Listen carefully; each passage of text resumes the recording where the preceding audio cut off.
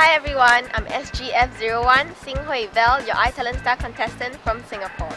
This round's challenge is about passion, and everyone who knows me will tell you that VaL's passion is about performing arts.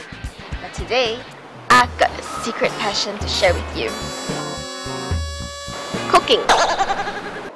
I first learned how to cook from my dad. The first dish, in fact the only dish he taught me to cook was fried rice. But through these cooking sessions, my dad taught me many many lessons.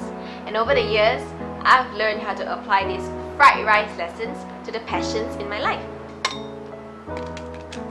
My dad was very particular about the preparation that goes behind this simple dish.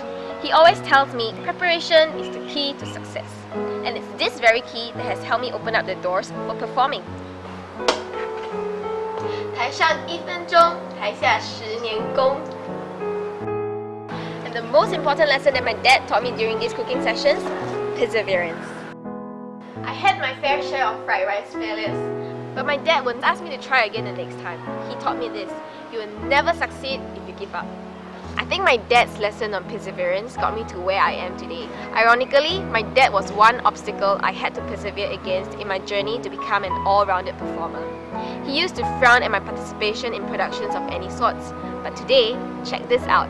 Now, I'm gonna bring my dad's icing Tao Fan to him and surprise him at work.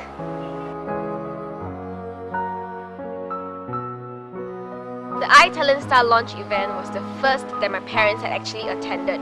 They were never at any of my plays or concerts, but I definitely don't want this to be the last.